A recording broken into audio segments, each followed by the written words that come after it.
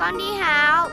Ờ Con đi đường cẩn thận nghe Nội đừng có lo cho con Trường con còn xịt à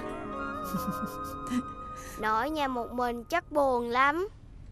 À nội có thích nghe cải lương không nội? Thích chứ. Vậy lên đây Lên đây con mở cải lương cho nội nghe. Ờ ờ. Ờ. Cái nút này là dạng lớn nhỏ Còn đây là nút tắt mở. Đây là nút ra đài. Á đài này có cải lương nè. Nội nghe đài này một hồi. Đài này hết cải lương Thì nội dặn cái nút này.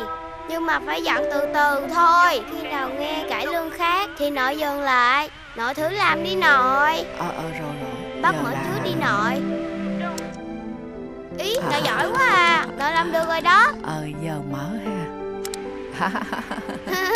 Nội giỏi quá. Trời ơi Bé Đào giỏi quá đi hà. Chỉ nội nghe cải lương nữa nè. Nhưng mà giờ phải đi học Chứ không thôi trễ giờ nữa ha. Dạ.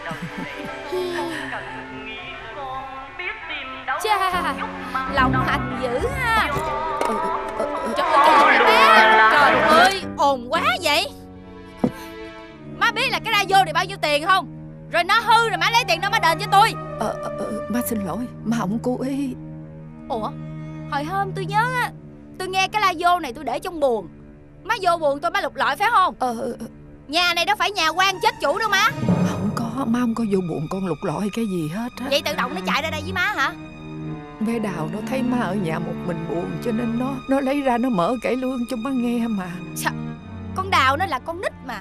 Má không xúi dục nó. Sao nó biết Cái con này lát nữa tôi đập nó một trận cho nó biết. Con ơi má má xin lỗi. Lỗi của má con đừng có đánh nó tội nghiệp con ơi. Thấy chưa? Cũng lòi ra là má xúi nó mà.